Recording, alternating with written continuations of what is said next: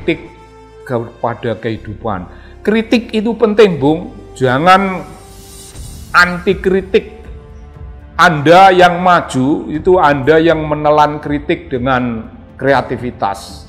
Anda yang maju, Anda yang belajar dari kritik-kritik. Nah, saya ingin bertanya pada Anda, para sahabat, para pendengar, apakah Anda membangun orientasi hidup dari dunia sastra?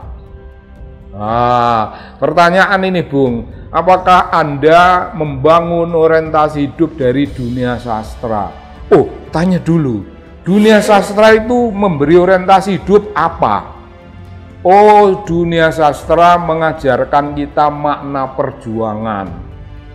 Kalau umum, ya perjuangan itu juga umum, tapi ada kata yang lebih umum, dunia sastra itu mengajarkan kita untuk berorientasi pada tindakan-tindakan yang menghormati kemanusiaan.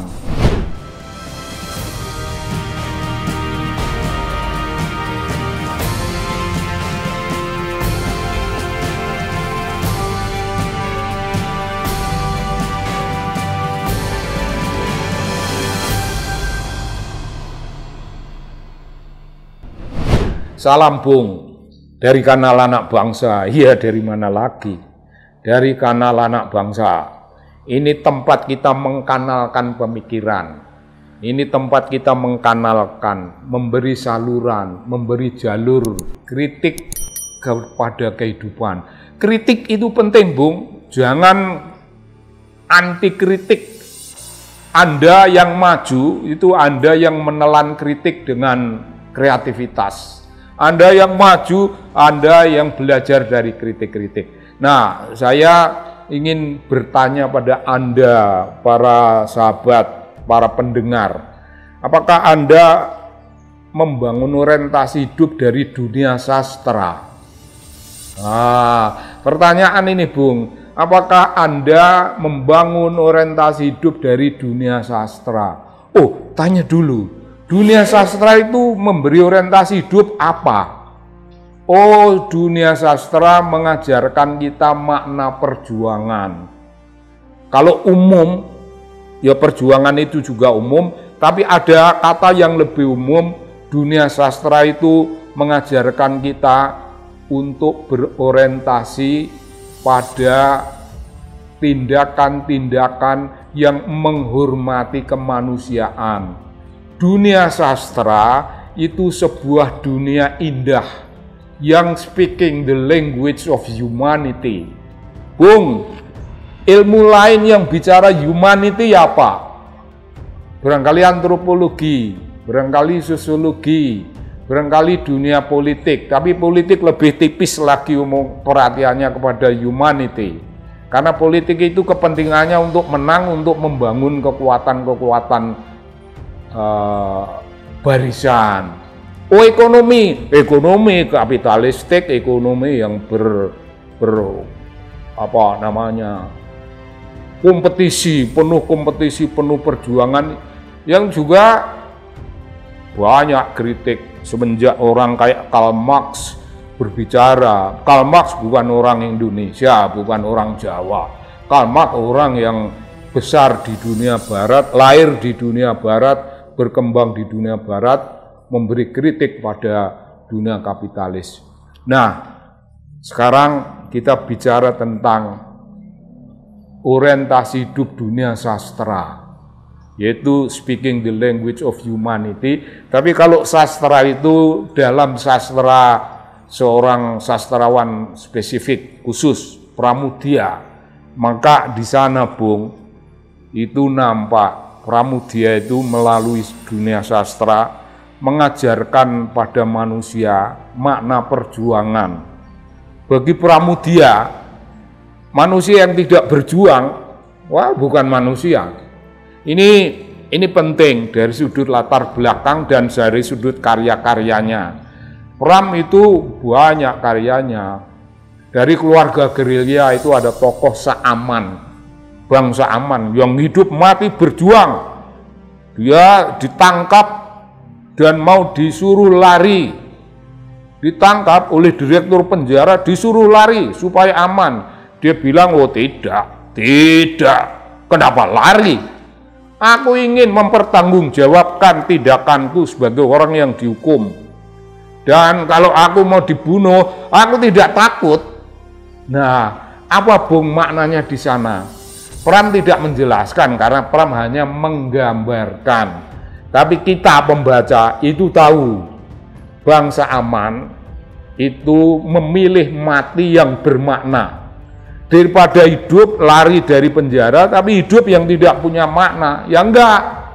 Itu menghapus makna perjuangannya sebagai tokoh yang yang melawan penjajahan. Bangsa aman menjadi apa saja yang ditempuhnya kemudian itu intinya perjuangan waktu menjadi tukang becak, wah dia jadi telik sandi, Bung. Dan telik sandi itu artinya perjuangan. Jadi kalau orang tidak berjuang, ya bukan orang. Itu peram keren, peram keren. Ini ajaran dunia sastra dan ini artinya sastra ini, sastranya peram juga itu tetap speaking the language of humanity. Loh, membangun manusia yang berjuang itu ya karena berbicara tentang humanity.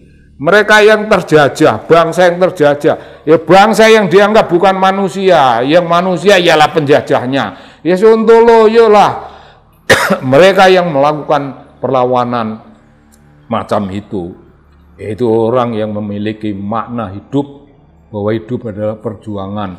Akhirnya, akhirnya perlu kita berbicara begini, Bung di antara kawan-kawan menteri mungkin banyak yang jengkel pada omongan kita yang mengeritik Jokowi. Ya karena menteri-menteri pada saat ini masih memperoleh keuntungan besar dari kehadiran Jokowi. Saat ini tidak bisa bersikap kritis. Lagi Bahlil, tidak bisa bersikap kritis. Pokoknya Jokowi itu ya ibaratnya itu dalam bahasa Jawa itu Bung, Gusti Allah katon. Wu Jokowi itu Gusti Allah katon. Itu Tuhan yang tampak itu anu ekspresi. Ekspresi untuk memberi gambaran secara hiperbolik berlebihan dari kenyataannya. Ya, kalau orang-orang lain yang lebih lebih datar ekspresinya, ya Jokowi bukan pengkhianat, dia pahlawan. Ya kayak gitu, Bung. Bagi kalangan menteri tertentu, bagi kalangan orang-orang yang mendapat keuntungan dari Jokowi, iya Jokowi ya pahlawan, tapi kita yang tidak diuntungkan sama sekali, kita yang tidak mendapat dukungan apa pun dari Jokowi, yang kita dapatkan hanyalah keculasan, keculasan, keculasan. Kita berdiri dalam posisi berlawanan dengan dia. Kita menjadi orang yang berjuang. Bung, menegakkan keadilan dan kebenaran, mengeritik kedoliman pemimpin, itu berjuang bung, jangan dianggap sepele. Itu namanya dalam Islam, itu jihad bung.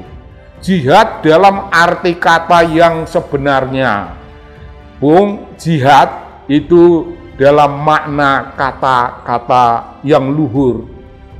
Memindahkan apa yang namanya duri dari tengah-tengah jalan entah duri itu itu duri bagaimana kok ada di tengah jalan kita pindahkan kita buang ke pinggir itu tergolong jihad.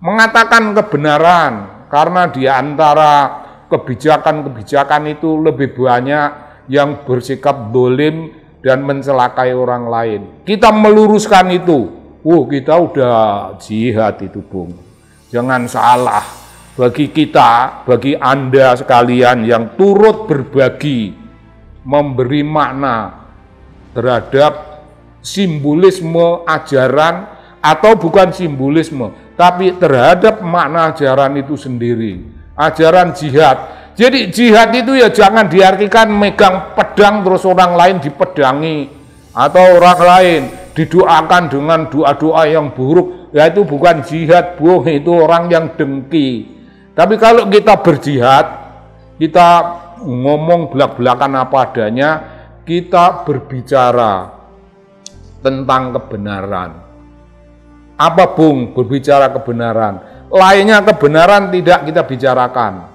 Oh itu kan keren Bung, itu perjuangan. Nah di dunia media pada hari ini kekuatan-kekuatan. Ya nggak perlu. Itu disebut sebagai golongan yang apa yang tidak loyal pada pemerintah. Itu sebagai golongan yang kritis pada pemerintah. Enggak enggak nggak usah diberi golongan-golongan. Banyak individu-individu yang bukan bagian dari suatu partai, bukan partai koalisi, bukan partai yang yang berada di luar kekuatan koalisi. Ada individu-individu biasa yang tidak punya jabatan apa-apa, tapi dia berbakti pada hidup, berbakti pada kepentingan kehadirannya di muka bumi itu untuk apa? Ya untuk menyampaikan sesuatu yang namanya kontribusi. Bung itu berjuang.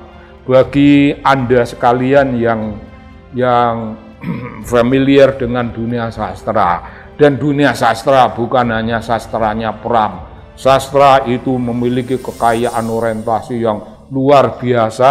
Anda akan berbicara tentang sastra tingkat dunia dan Anda akan berbicara tentang sastra pada tataran usia-usia pembacanya. Bung, semuanya itu berbicara tentang orientasi nilai kemanusiaan dan apa yang namanya orientasi nilai kemanusiaan itu bagian dari apa yang namanya kemanusiaan yang adil dan beradab tanpa menyebut Pancasila, Bung.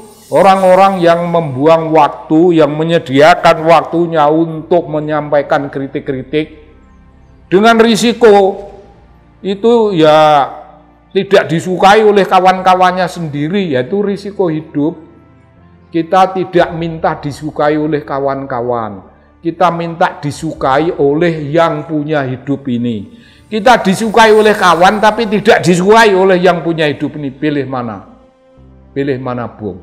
Sebagai orientasi nilai, mungkin ini nilai moral, mungkin ini, ini itu nilai etis dan sejenisnya. Pilih mana? Banyak orang, kawan-kawan Anda nggak suka karena Anda ngomong ini dan itu, tapi Anda tidak akan disukai oleh yang punya hidup yang mengajarkan etika kehidupan. Pilih mana, Bung? Saya pilih berjuang saya memilih orientasi hidup mereka yang tidak berjuang dalam kapasitas apa pun bukanlah manusia. Hanya manusia yang berjuang yang bisa dinilai sebagai manusia. Begitu dalil Pramudia Anantatur. Salam Bung, salam dari kanal Anak Bangsa. Terima kasih.